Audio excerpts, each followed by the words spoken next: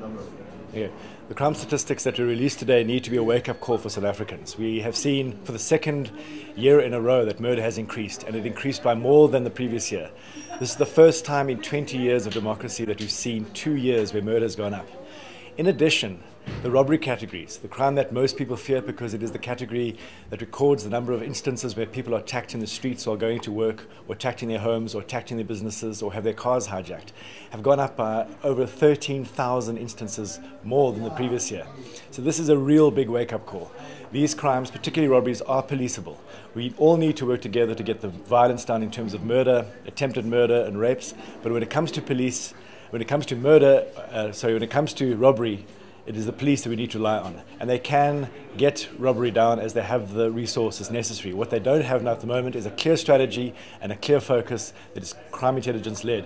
They have to fix that quickly, otherwise, a lot more people are going to get attacked before it gets better. Thank you.